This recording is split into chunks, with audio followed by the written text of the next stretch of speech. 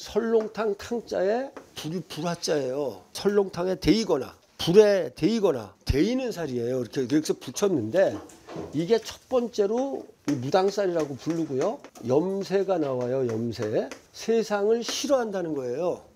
세상을 싫어하니까 박혀 있는 거지. 요게 세지면 뭘로 가요? 요게 세지면 염세가 세지면 일리 가요. 일리 간다고. 탕화가 무서워요. 그래서 제일 무서운 살이야. 근데 이거 하시는 분들이 제가 무당살이라 그랬잖아요. 이쪽으로는 아주 감이 너무 뛰어나고요. 상당히 영리하고 총명해요.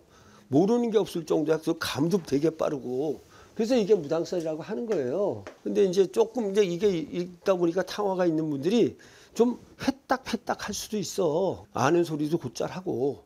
그런 게 있단 말이야. 그래서 이게 이제 추군이 오거나 이러면 좀 많이 그래요. 추군이 오면. 추군이 재작년이잖아요. 아, 그러니까 신축년부터 뭐가 문제가 생긴다고요. 인호축 탕화가. 탕화가 거기서 발동을 한단 말이야. 무슨 말이냐면 경자, 경인, 이모. 그 다음에 정미예요. 이래 되면 이 탕화살이 조건이 인오축이거든요.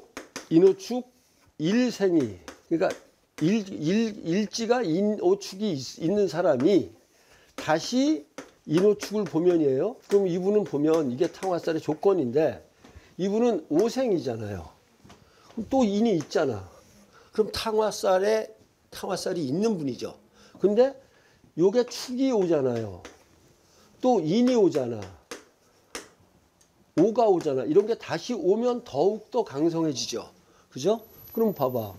신축년, 그죠? 경인년 다시 걸렸잖아요. 여기가 제일 심해요. 인호축 세 개가 딱 완비되기 때문에 두 번째가 인년도 또 들어왔죠. 그러니까 작년까지는 조금 이렇게 좀 안 나왔을 거다 이 말이야. 올해는 이제 개면연이니까 조금 나아지겠죠, 그죠? 없잖아, 요것만 있잖아, 안 건드렸잖아, 그죠? 그러니까 올해 올해부터는 좀 나아지겠지 뭐.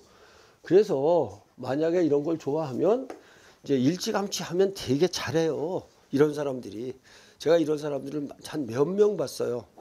한 20대부터 역학한 사람도 있고요. 지금도 잘해요. 잘 봐. 그 다음에 또 뭐, 뭐 서른 한 두 살쯤에 이혼한 여자도 한 분 봤고, 이쪽에서. 그러니까 이런 걸 갖고 있는 분들이 되게 그 이쪽, 우리 이쪽으로 감도 있고 그래서 잘 하시더라 이런 얘기입니다.